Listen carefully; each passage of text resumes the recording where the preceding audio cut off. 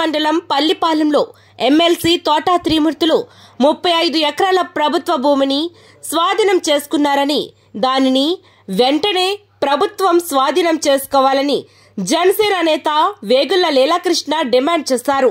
ఆదివారం జనసేన నాయకులు పోలిశెట్టి చంద్రశేఖర్ డేగల సతీష్ ఆధ్వర్యంలో పల్లిపాలెంలో మీడియా సమావేశం నిర్వహించారు. అనంతరం లీలాకృష్ణ మాట్లాడుతూ గ్రామంలో ప్రభుత్వ భూమిని కబ్జా చేశారని దీన్ని వెంటనే ప్రభుత్వం స్వాధీనం చేసుకోవాలని కోరారు. అప్పటి ఆర్డీఓ ప్రభుత్వానికి చెందినదిగా ఆదేశాలు జారీ చేశారన్నారు తరచూ పార్టీలు మారుతూ సీఎం జగన్మోహన్ రెడ్డి కాళ్ళపై పడి వైఎస్ఆర్సీపీలో చేరారు అన్నారు.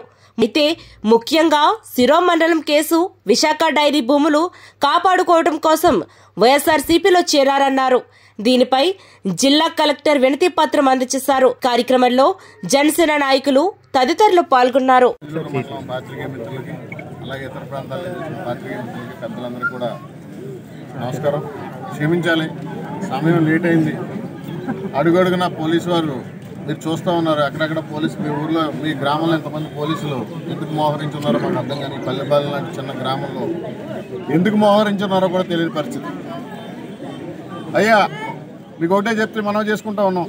జగన్మోహన్ రెడ్డి గారు దళిత పక్షపాతిగా దళితులకు అన్నగా దళితులకు మేనమావుగా దళితులకు కొడుకుగా బీసీలకి తమ్ముడుగా ఉంటానని చెప్పి నువ్వు ఓట్లు అడిగి ఈరోజు అధికారంలోకి వచ్చావు.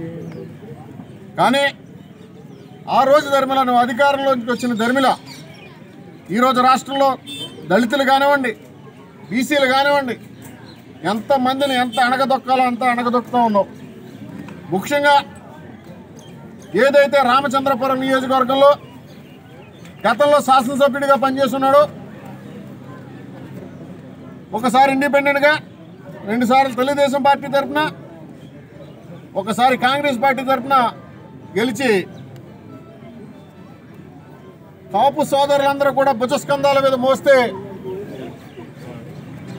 ఆ కాపు సోదరులకు కూడా కళ్యాణ మండపం కడతానని చెప్పి ఆ కాపు సోదరులకు కూడా చెందిన భూమిని కూడా ఆక్రమించుకుని దొబ్బినటువంటి ఒక మహానుభావుడికి ఒక దళితులకి శిరోమండనం చేసి నువ్వు వ్యక్తికి నువ్వు ఈరోజు ఎమ్మెల్సీ పదవి ఇచ్చావు అటువంటి వ్యక్తి ఈ పల్లెపాలెం గ్రామంలో పంతొమ్మిది వందల డెబ్బై మూడులో ల్యాండ్ సీలింగ్ యాక్ట్ ఏదైతే వచ్చిందో ఆ ల్యాండ్ సీలింగ్ యాక్ట్ని అడ్డం పెట్టుకుని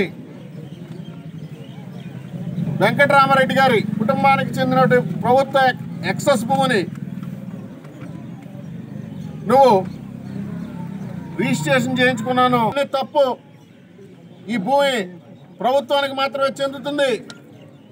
ఈ భూమి ప్రభుత్వానికి చెందవలసిందని చెప్పి పది మూడు ఇరవై ఇరవై తారీఖున అప్పుడు ఆర్టీఓగా ఉన్నటువంటి రామచంద్రపురం ఆర్టీఓ గారు ఆర్డర్ ఆదేశాలు జారీ చేయడం జరిగింది.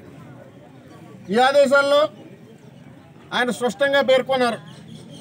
పదిహేడు ఎకరాలు సుమారు పదిహేడు ఎకరాలు ప్రభుత్వానికి చూపించకుండా దాచిన భూమి. పద్దెనిమిది ఎకరాలు నువ్వు ఎవరైతే వెంకటరామారెడ్డి గారి భార్య రెండో భార్య దగ్గరికి కొనుక్కున్నానని చెప్తున్నావో. అది కూడా ఆవిడ రెండో భార్య అయినా సరే రెండు వాటాలు తక్కువ ఒక వాటా దక్కుతుంది ఎంతమంది భార్యలు ఉన్నా సరే అని చెప్పి రామచంద్రపురం ఆర్డీఓ గారు స్పష్టమైన ఆదేశాలు జారీ చేశారు.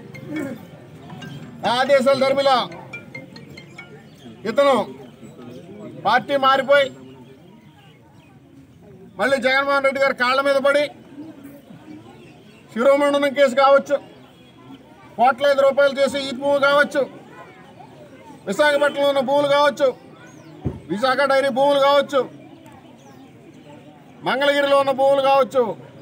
కోట్లాది రూపాయల భూములు ఈ రావు రామచంద్రపురం నియోజకవర్గ వర్గ ప్రజలు పెట్టిన భిక్షతో అధికారంలోకి వచ్చిన వ్యక్తి ఈ రామచంద్రపురం నియోజకవర్గంలో ప్రతి సామాజిక వర్గాన్ని కూడా పీడించుకు తిని తన మాత్రం కోట్లకు పడగలెత్తాడు. ఈ పడగలెత్తిన వ్యక్తిని మనం కిందకు దించే విధంగా ఏదైతే ప్రజలు భుజాలు ఎక్కించి మోసారో అదే ప్రజలు అతని కింద నేల మీదకు దించే విధంగా మనం పోరాటం చేయాలని చెప్పి జనసేన పార్టీ నిర్ధర నిర్ణయించుకుంది. ఆ పోరాటంలో భాగంగా మేము అతనికి సంబంధించిన కాగితాలన్నీ సేకరిస్తే ఈ వివరాలన్నీ బయటపడటం జరిగింది. గత పదిహేను రోజులుగా గుబ్బల శ్రీనివాస్ గారు మేము బొంగారాజు గారు అలాగే సోదరుడు చంద్రశేఖర్ కానివ్వండి డాగల్ సతీష్ కానివ్వండి అందరం కూడా దీని మీద పోరాటానికి కలెక్టర్ గారికి మేము ఒక విజ్ఞాపన పత్రం ఇవ్వడం జరిగింది.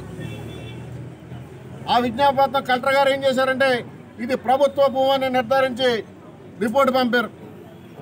ఈ రిపోర్టు ఎంఆర్ఓ గారి నుంచి ప్రభుత్వానికి ఆల్రెడీ చేరింది. ఇది పూర్తిగా ముప్పై ఐదు ఎకరాల ప్రభుత్వ భూమిని. ఈరోజు పల్లిపాలెం గ్రామంలో చెబుతా ఉన్నారు. అన్ని గ్రామాల్లోనూ ఇచ్చారంట కానీ ఈ గ్రామంలో ఎక్కడ కూడా ఇళ్ళ స్థలాలు ఏమన్నదా అసలైన లబ్ధిదారులకు ఈ గ్రామంలో చేరలేదు. సరే కానీ రోడ్డును పక్క చేర్చుంది.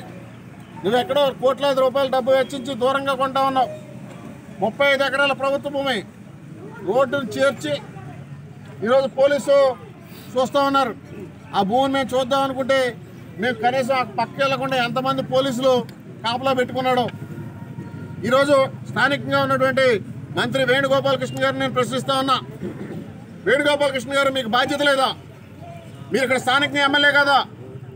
ఈ ప్రభుత్వ భూమిని స్థానికంగా దళితులకు మీరు పంచవలసిన బాధ్యత మీ మీద లేదా? మీరెందుకు దీని మీద ఆసక్తి చూపించట్లేదు? దీనిపై మీరు వెంటనే స్పందిస్తారా లేదా? మీ స్పందన తెలియజేయండి అని చెప్పి వేణుగోపాలకృష్ణ గారిని మేము డిమాండ్ చేస్తూ ఉన్నాం. అలాగే ఈ విషయాన్ని వెలికి తీసిన పెద్దలు పిల్లి సుభాష్ చంద్రబోస్ గారికి కూడా విజ్ఞప్తి చేస్తూ ఉన్నాం. సార్ మీరు ఇంత మంచి కార్యక్రమం చేశారు. మీరు ఈరోజు ప్రభుత్వంలో అధికారంలో ఉన్నారు. దీన్ని చేపట్టడానికి మీరు కూడా నడుం కట్టుకోండి దయచేసి. లేకపోతే ఇంత కార్యక్రమం చేసి ఇంత కష్టపడి కూడా మీరు కూడా ఏం చేయలేని పరిస్థితి కనిపిస్తుంది ప్రజలు బాధపడుతూ ఉన్నారని చెప్పి ఆయన కూడా తెలియజేసుకుంటా ఉన్నాం. ముఖ్యంగా ఒకటే చెప్తా ఉన్నాం. ఏదైతే ప్రజలకు చెందవలసిన భూమి ఈ దుర్మార్గుడు ఆక్రమించుకుని ఉన్నాడో ఆ భూమిని ప్రజలకు అందించే విధంగా ఆ భూ ఎవరైతే నిజమైన లబ్ధిదారులు ఈ గ్రామంలో ఉన్నారో వారందరికీ చేరే విధంగా జనసేన పార్టీ ప్రయత్నిస్తూ ఉంటుంది. ఖచ్చితంగా ప్రయత్నం చేస్తూ ఉన్నాం. ఈరోజు మాతో ఈ గ్రామంలో కొంతమంది సోదరులు వచ్చారు. పోలీసులు భయపెట్టి మా టెంట్లు వేస్తే టెంట్లు దించారు చైర్లు దించారు మేము దేనికి భయపడేది